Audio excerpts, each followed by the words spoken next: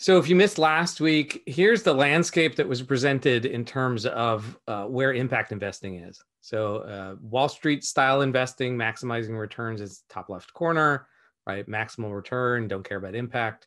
Uh, philanthropy's bottom right corner, want to maximize impact, don't care about returns. Impact investing is everything in between.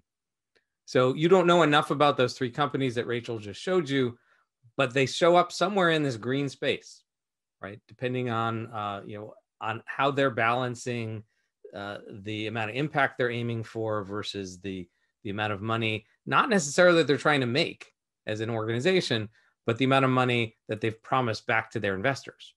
There's a difference.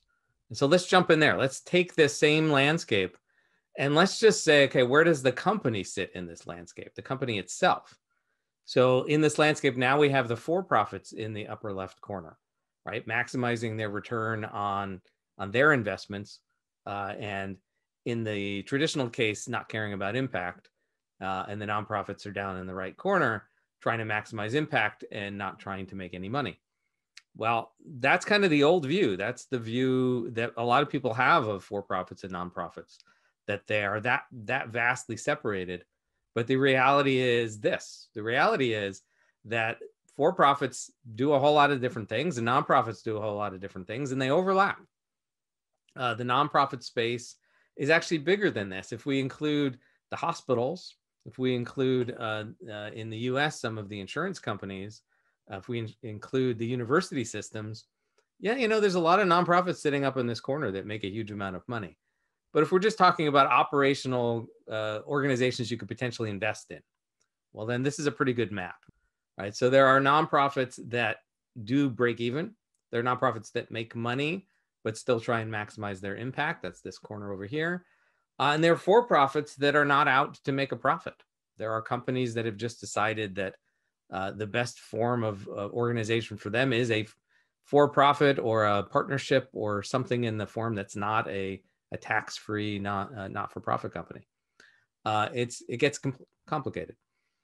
So when it comes to how do you invest in these companies, again, we didn't we got three example companies uh, a few minutes ago, but we don't know how what form of of structure are we allowed to invest in those companies if, if we want to.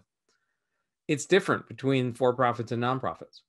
On the for-profit side, traditionally in early stage, the normal way to invest is equity. Equity as in buying shares, owning owning part of the company. But in uh, emerging markets in Africa, it's extremely common to see debt investing, despite the fact that it's uh, it's highly risky. Uh, so we see debt investment, and then the third choice, which we'll see in another week, uh, is revenue share. And then on the nonprofit side, they can't sell equity because there are no shares. There's an, an alternative form of investing uh, in the nonprofit space. It's called recoverable grants. Uh, it seems to be getting more and more popular. A recoverable grant can look like equity, can look like debt, it can look like anything. Uh, but it's basically you're giving them money, but they're promising to give it back to you at some point uh, on some trigger in some form, maybe more than you gave them. Uh, you can also lend to nonprofits and you can do revenue share with nonprofits that have revenues. So you know, there's a lot of overlap here. Uh, and it gets more complicated because there are organizations out there that call themselves hybrids. And hybrid is that whole green section that's overlapping here. And so then you have a company that may in fact be two companies, or you may have a company that that's multiple pieces. Uh, and so this shows up in multiple forms as well. Uh, really quickly, on the for-profit side, it shows up as either a philanthropic investment. So it's possible to take philanthropic dollars and use them to invest in for-profits.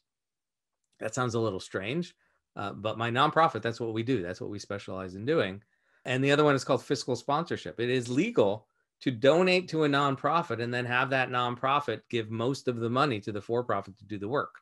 And you'd think that shouldn't be legal, but it is because if you find a for profit that's fulfilling the mission of the nonprofit, they can go pay for that, just like they can go pay for rent and salaries and whatnot as a nonprofit. They got to pay for things to get done. They can pay a for profit to get their, their impact done. In this world where for profits have an impact, they can do the work for nonprofits. Uh, and then the other hybrid structure we see on the nonprofit side is when the nonprofit has a for profit subsidiary. So a lot of the funds in Africa They look like funds, they act like funds, but they're actually run by nonprofits. Uh, Global Partnerships is a good example of this. Uh, the the parent organization is a nonprofit, and they have a for-profit subsidiary that does investing in Africa, and there's a, a, dozens of others like that. Takeaways: three takeaways is impact investing is not one thing; it's a landscape of choices. You should also take away the fact that it is just really complicated, and we're just at the top level. It just gets more complicated the further you dive in.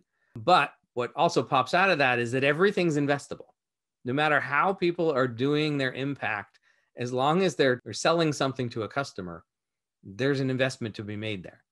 And so whatever your your particular desire is in terms of impact, there's probably an org out there and and there's probably one that's looking for, for money as well.